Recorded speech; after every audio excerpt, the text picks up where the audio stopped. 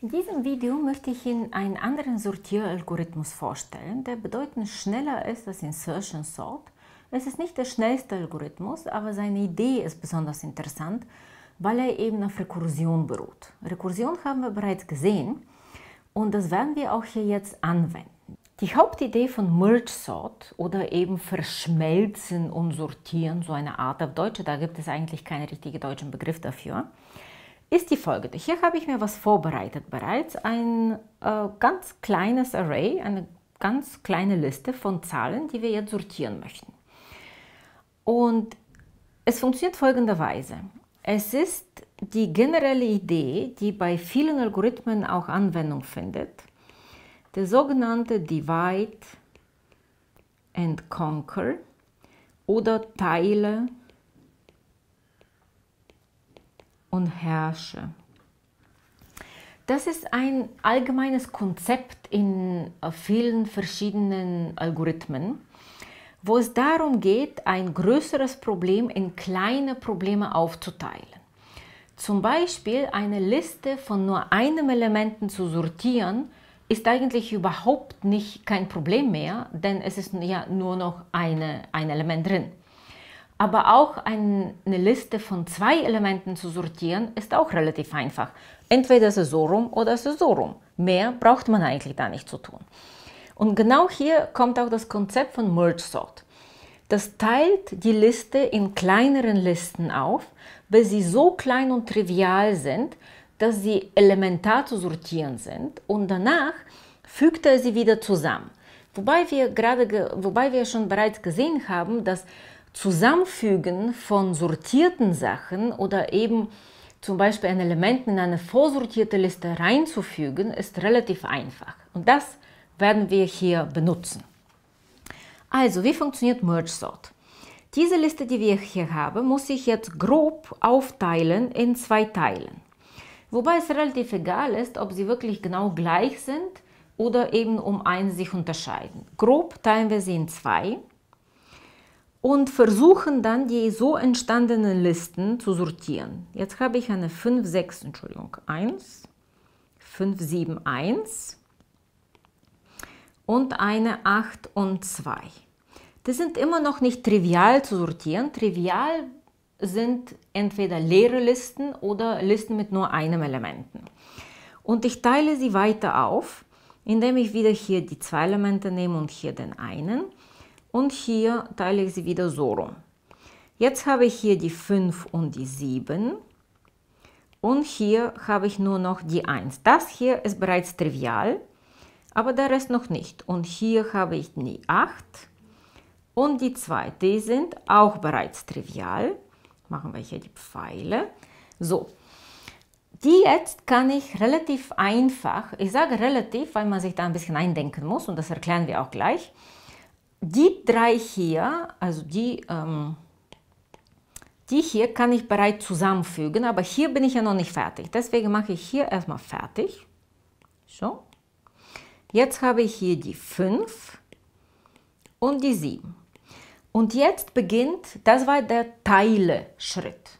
Ich habe das Problem in so viele kleine Probleme aufgeteilt, bis sie trivial geworden sind. Und tatsächlich 5 zu sortieren oder die 7 oder die 1 einzeln gesehen, ist eigentlich überhaupt kein Problem an sich. Da muss man gar nichts sortieren. Jetzt haben wir diese Elementarproblemchen vor uns und jetzt kommt der Herrsche-Schritt. Der Schritt, wo ich das alles wieder zusammenfüge. Wie funktioniert das? Ich füge sie so zusammen, dass sie sortiert sind. Das heißt, die 5 und 7 zu sortieren, bleibt es eigentlich genauso, wie es ist. Ich muss nur gucken, wer größer ist, wer kleiner. Und das Ergebnis, jetzt machen wir das alles in blau hier, ist eben wieder 5 und 7. Die 1 zu sortieren ist auch einfach.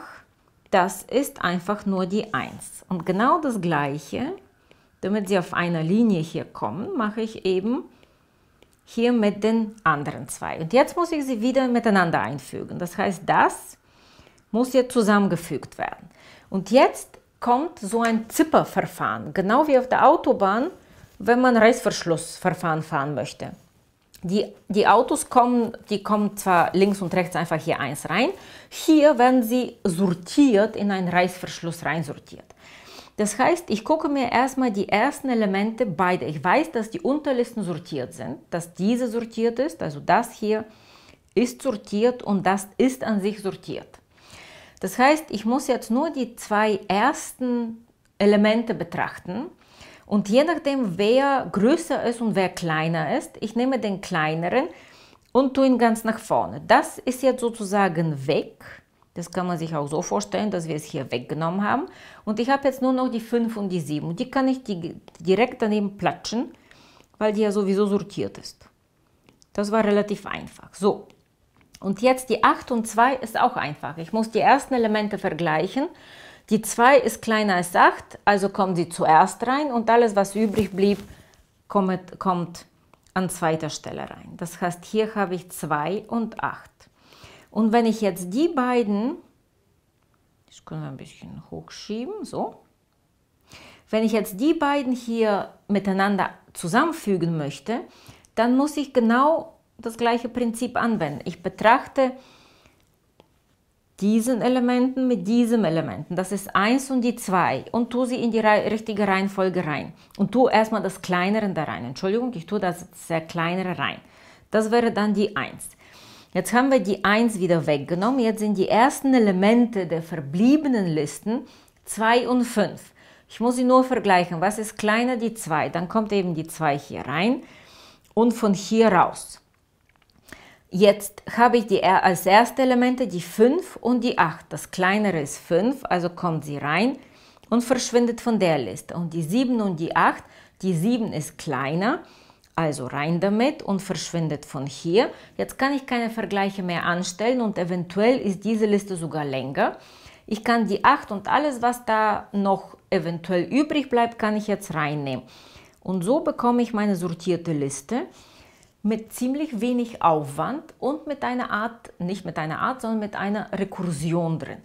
Das heißt, ich teile zuerst in ganz kleinen Schritte, in ganz kleinen Problemchen. Diese Problemchen füge ich wieder zusammen und zwar nach bestimmten Regeln, die automatisch danach eine sortierte Liste vorgeben. Natürlich kann ich auf diese Art und Weise sie nicht nur von klein auf groß sortieren, sondern genau umgekehrt. Ich muss nur diesen Vergleich immer umgekehrt machen. Das heißt, als erstes Element in die neue Liste kommt das größere Element rein und dann automatisch sortiert sich das komplett neu.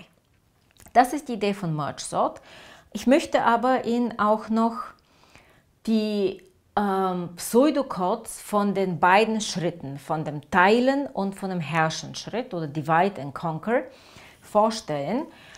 Der Python-Code dazu können Sie sich allerdings runterladen. Das ist doch ein bisschen länger geworden und das überlasse ich Ihnen sozusagen als kleine Hausaufgabe, um zu Hause sich das nochmal genauer anzuschauen. Hier habe ich mir was vorbereitet und zwar den Pseudocode von dem Merge Sort und zwar von dem Teilen. Also da, wo es aufgeteilt wird. Das ist relativ einfach zu verstehen. Nämlich, äh, betrachten wir das doch mal zusammen. Hier die allererste Zeile sagt nichts weiter, außer wenn die Länge von diesem Array, also das kommt ja das Array an sich, wird ja hier reingegeben als Parameter in diese Funktion. Und wenn die Länge von diesem Array kleiner oder größer, kleiner oder gleich 1 ist, das heißt entweder nur ein Element oder ganz leer, dann schicke ich u zurück. Das heißt, der Array entweder leer oder genau ein Element wird genauso wie es zurückgeschickt, also entweder leer oder mit einem Elementen. Sonst betreibe ich folgendes. Ich splitte den Array, den ich in dieser Funktion als Parameter gerade reinbekommen habe, in zwei Teilen, L und R. Die müssen ungefähr gleich groß sein, aber natürlich wird es nicht immer klappen, wenn, nämlich genau, wenn man ungerade Anzahl von Elementen hat. Dann rufe ich einmal Merge Sort, also genau diese gleiche Funktion, das heißt rekursiver Aufruf, von eben von, der Link, von dem linken Teil der Liste und einmal rufe ich es für den rechten Teil der Liste auf. Und am Ende, wenn ich sie zurückbekommen habe, genau diese zwei Listen, die ich jetzt sortiert äh, zurückbekomme, Die werde ich dann nach diesem Reißverschlussverfahren miteinander zusammenfügen mit einer Funktion, die wir noch hier nicht, betracht, noch nicht betrachten, nämlich Merge R und L. Das heißt jetzt, die zwei müssen zusammengefügt werden. Es ist äh, tatsächlich genauso, wie wir es im Beispiel davor gesehen haben. Der rekursive Aufruf ist, wenn ich hier zum Beispiel vier Zahlen habe, dann wird es genau in der Mitte hier geteilt.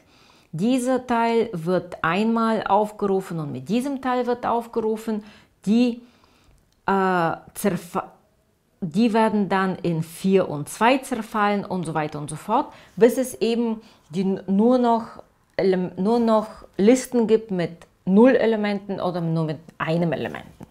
Dann wird die ganze Rekursion so eine Art zurückgefaltet. Das heißt immer wieder weiter zurückgefaltet mit dieser Merge-Funktion. Wie sieht sie aus? Die Merge-Funktion ist eben ein bisschen komplizierter, aber es funktioniert genau nach diesem Reißverschlussverfahren, die ich davor erklärt habe. Hier werden wir erstmal eine leere neue Liste erzeugen, da wo, wo, wo sagen die, die zusammengefügt werden. Und dann vergleiche ich immer wieder den ersten Elementen von einer Liste bis eins und vergleiche sie und das kleinere kommt in die neue Liste rein. Das äh, größere verbleibt, wo es ist. Dann wird es aber entfernt. Das heißt, ich vergleiche es dann wieder und so weiter und so fort. Wenn die beiden Listen, wenn eine dieser beiden Listen links und rechts alle ist, dann wird nochmal geprüft, ob die andere vielleicht nicht noch was übrig hat. Das wird noch am Ende reingeklatscht und zurückgegeben ist die sortierte Liste. Aber auf diese Art und Weise Listen zu sortieren, die eben zwei sortierte Listen miteinander zusammenzufügen, ist bedeutend einfacher als eine lange Liste eigentlich von neu zu sortieren. Und das ist eben die Idee von diesem Teilen und Herrschen oder Divide and Conquer. Und wie bereits erwähnt, können Sie den Python-Code dazu online sich angucken oder herunterladen und ausprobieren und mit ganz vielen verschiedenen äh, Listen ausprobieren. Dort habe ich auch wieder ganz viele Prints eingebaut, damit man die einzelnen Schritte richtig schön verfolgen kann. Dankeschön.